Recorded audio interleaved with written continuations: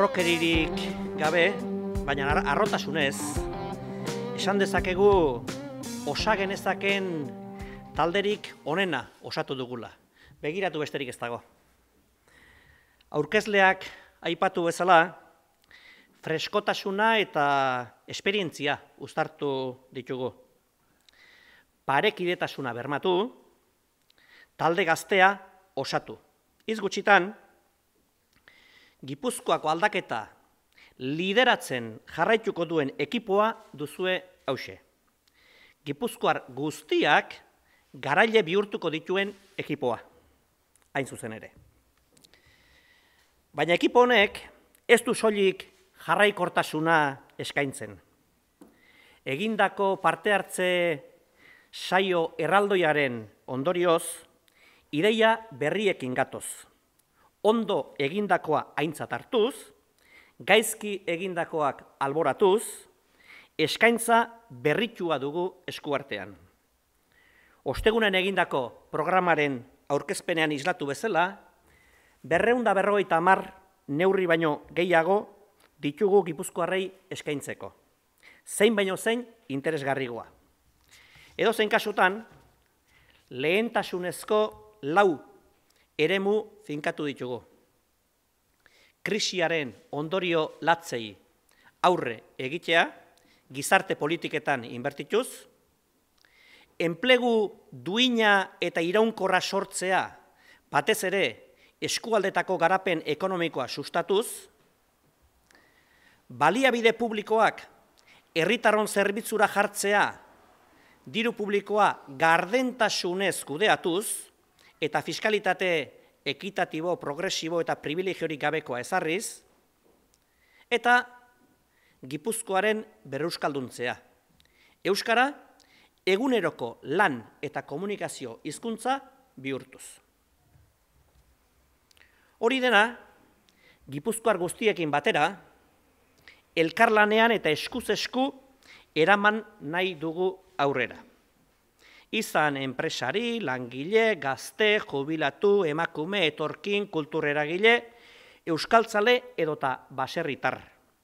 Izan ere, zer egingo dugun bezain garrantzitsua da lana nola egingo dugun. Euskal Bidea, egunez egun, urratxez urrats, kompromisoz kompromiso, erabakiz erabaki egin nahi dugu.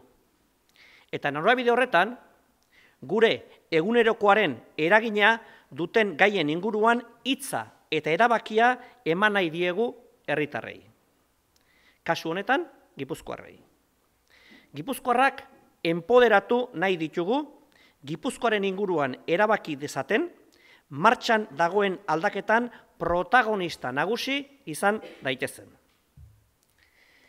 Izan ere, Gipuzkoako aldaketa norabide honean, martxa honean doa. Eta ez dut dudarik, talde honek kinta sartuko duela. Martxarik azkarrena, bosgarren martxa. Gipuzkoa, egun baino, solidariagoa, justuagoa eta euskaldunagoa bihur dezagun guztion artean. Modu horretan, eta ez bestela, izango bai gara Gipuzkoar guztiok garaile maiatzaren hogeita lauean. Beste batzuk ordea, PNV martxa traserakin dator. Eta kopiloto ederrak bilatu ditu horretarako. PS eta PP. PNVek PS eta PP aukeratu ditu bidaide. Kosta ala kosta, Gipuzkoak aurrera egitea saiesteko. Martxan dugun aldaketa eragozteko. Martxatrasa sartu nahi dute gizarte politiketan aurreratutako guztian, atzera egin eta murrizketak ezartzeko. Martxatrasa, euskeraren normalizazioan aurrera egin ez dezan. Martxatrasa, diru publikoaren banaketa justua eman ez dadin. Martxatrasa, kiebra eragin duen eredura itzultzeko. Martxatrasa, Gipuzkoaren euneko batari lehen zituen privilegio fiskalak itzultzeko. Martxatrasa, diru publikoa, gutxi batzuen interesak asetzeko baino ez diren azpiegitura haundietara bideratzeko. Ez gutxitan, PNV-ek martxatrasa sartu nahi du, euneko batak baino irabaz ez dezan maiatzaren hogeita lauean. Zer kuriosoa eta etxigarria bide batez. PNV-ek nahiago ditu bidaide, mozal legea, herritarren oinarrizko eskubideak zapaltzen eta errepremitzen dituen legea, bultzatu eta babestu duten bi alderdi horiek, PP eta PSE, EH Bildu baino. Nahiago du, Euskal presoen eskubideak defendatzen dituzten senide eta lagunak atxilotzera bidaltzen dituen indar politikoekin, akordiotara iritsi, EH Bildurekin baino. Nahiago du, EH Bilduren parlamentaria kanporatu, Euskal presoen eskubiden defentsan aritu baino. Gainera, paradosikoa oso, Markel Olanok etxaitzat gaitu. Aste honetan bertan, beren programa elektoral batean irakurri alizun dugunez, bere etxai politiko haundiena omen gara. Ez lehiakide edo aurkari, etxaiak baizik.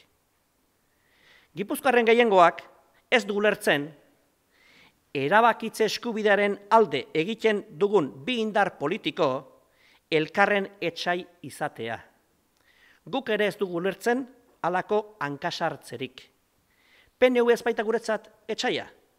Hauteskundetan irabaziko diogun lehiakidea baizik. Lantalde bikaina osatzen dugu, begibistakoa, eta gobernu talde bikaina osatuko dugu. Gipuzkoarrok ala erabakita. Gaur, erronka berri bati eman diogu hasiera,